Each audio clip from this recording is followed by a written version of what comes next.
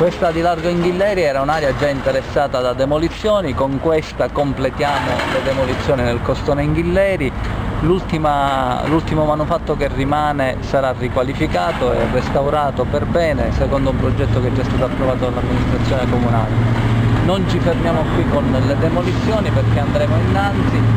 Laddove ci sono manufatti che non sono di nessun pregio storico, architettonico, anche culturale e giusto che si evitino produzioni di pericolo e si crei riqualificazione urbana.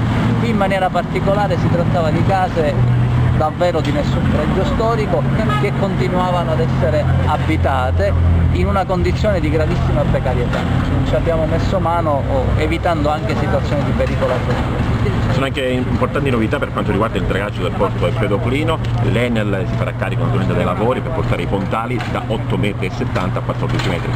A 14 metri è un'operazione che riguarda tutta la rada ingresso porto, da lì verranno tratte delle sabbie vergini che sono state eh, con volumi veramente cospicui, queste sabbie sono state già analizzate secondo un piano di carotaggio che è previsto dal manuale dell'ICRAM, sono delle sabbie vergini e potranno essere ben utilizzate per il ripascimento delle spiagge salleonine. Eh, Marco Zambuto credo che abbia compreso appieno l'utilità di questa operazione e mi fa piacere che si realizzi una bella sinergia con il comune di Agrigento. Riqualificazione del centro storico, il dragaggio Porto Empedoclino, rigassificatore, da questo parte il rilancio definitivo di Porto Empedoclino. Questo è altro ancora perché io penso alla catena del freddo che sarà connessa all'impianto di rigassificazione e lì veramente ci sono volumi di tipo commerciale e di valore aggiunto sul piano risorse umane impegnate notevolissime.